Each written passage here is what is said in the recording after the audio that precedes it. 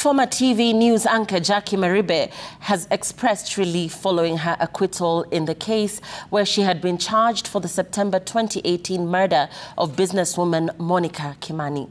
Speaking after the acquittal, a visibly joyous Maribe opted for brevity, quoting the Bible verse John chapter 8 verse 32, which promises freedom to those who speak the truth.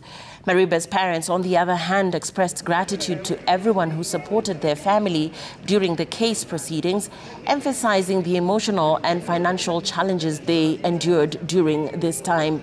Maribe and her co-accused Joseph Irungu have been on trial since the year 2018 and judgment was expected in October last year, but it was deferred.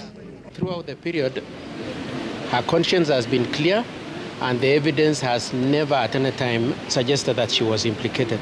She was not at the scene, she didn't know her, she had no reason to want her dead, and uh, in a way we really blame the prosecution for maintaining and insisting on this case when it had no basis. I want to believe God that it has not just happened.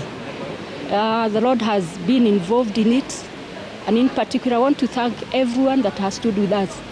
Let me say this that even when the fire appears like it is almost melting our emotions, we have been encouraging ourselves in the Lord. Uh, it has been a torturous journey. Uh, we have uh, suffered both emotionally, financially, and everything else.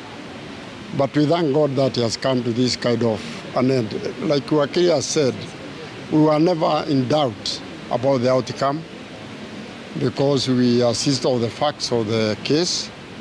I don't wish to say anything. I'll just say go read uh, John 8:32, for you shall know the truth, and the truth shall set you free. Thank you.